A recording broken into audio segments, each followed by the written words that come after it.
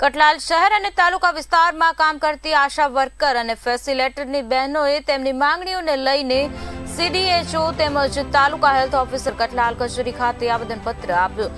જેમાં તેઓએ ઉલ્લેખ કર્યો છે કે સરકાર સાથે વાટાઘાટો કરવા છતાં ઇન્સેન્ટિવ પ્રથા બંધ કરી રાજ્યની તમામ આશા વર્કર અને ફેસિલેટર બહેનોને લઘુત્તમ વેતન મુજબ ફિક્સ પગાર આપવાની માંગણી પ્રત્યે દુર્લક્ષ સેવાતા મહિલા શક્તિ સેના પ્રમુખ ચંદ્રિકાબેન સોલંકી દ્વારા તારીખ બાવીસ સપ્ટેમ્બર બે હજાર બાવીસથી અચોક્કસ મુદતની હડતાલના આદેશના પગલે આશા વર્કર અને ફેસિલેટર કામગીરી બંધ કરી અચોક્કસ મુદતની હડતાલમાં જોડાઈએ છીએ.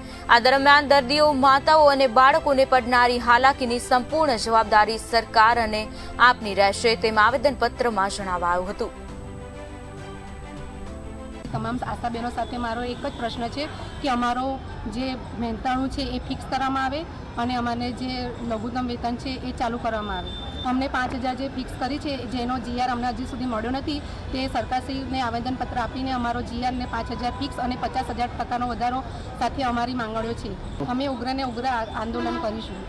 આશા ફેસિલેટર અમે કામગીરી બાબતમાં જે પાંચ હજારનો પાંચ હજાર ફિક્સ પગાર માગ્યો હતો તે નથી મળ્યું વધતા વધારો નથી મળતો.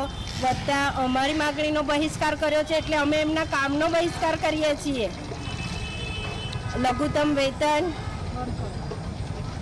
સમાન કામ, સમાન વેતન, ઘણી બધી માગણીઓ છે અમારી પણ સરકાર સાંભળતા નથી.